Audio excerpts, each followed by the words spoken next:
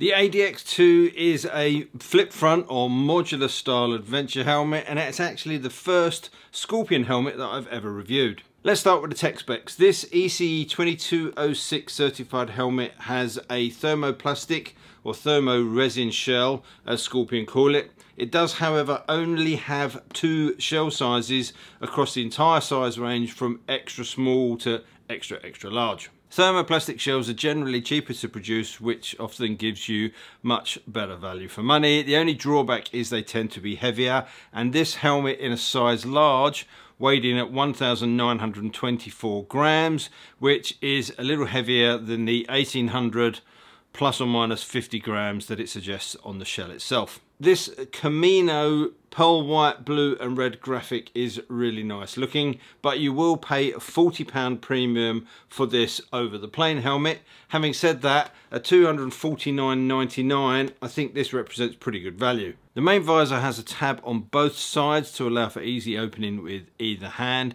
and the drop down internal shield has a control on the lower part of the shell. It's nice and easy to operate and find with gloved hands and I've got no complaints with it at all cool. The shield has a decent level of darkness and it sits low enough to give complete coverage. When I first used it I did think there was some kind of protective film over it uh, but it turns out all it needed was a wipe down so that's something to bear in mind. Raising the chin bar is again very easy and I like the way the button is hidden underneath the chin which gives the helmet a very clean look. The helmet has P&J double homologation and as such under the 2206 rules it does require a locking function which can be found on the left hand side again very easy to operate. The inner lining features Scorpion's KwikWick 3 material and it is a very comfortable place. It feels very plush feels pretty premium. In terms of fit, I would say this is an intermediate oval with maybe just a very slightly rounder brow section, but in general, I think it should fit a lot of people quite nicely. The chin strap is a quick release micrometric strap, which seems to be par for the course for modular helmets,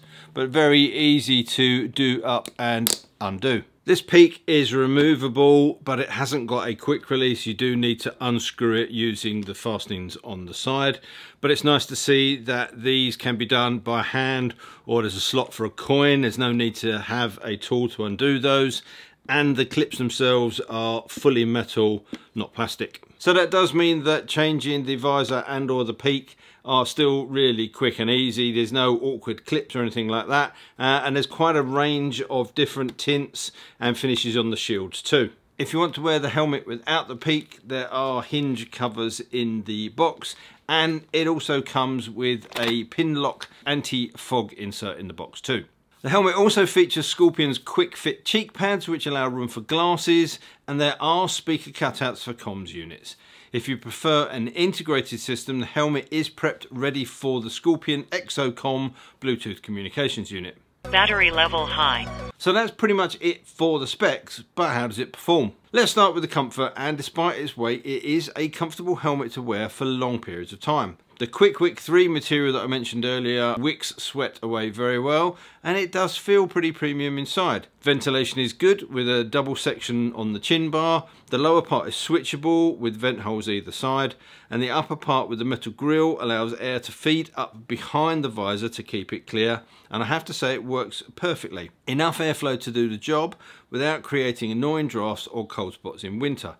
This is backed up with a switchable vent on the top and an always open venturi on the back. The ventilation isn't stunning, but it does do the job pretty well. Overall vision is good and there's plenty of room in the chin bar too, the lifting of which is very easy even when riding. I can't do a helmet review without talking about noise and obviously this is a very subjective topic. It very much depends on how well the helmet fits you, what bike you're riding and a couple of other factors but generally thermoplastic helmets do tend to be a little bit quieter than some other materials just from the nature of their construction.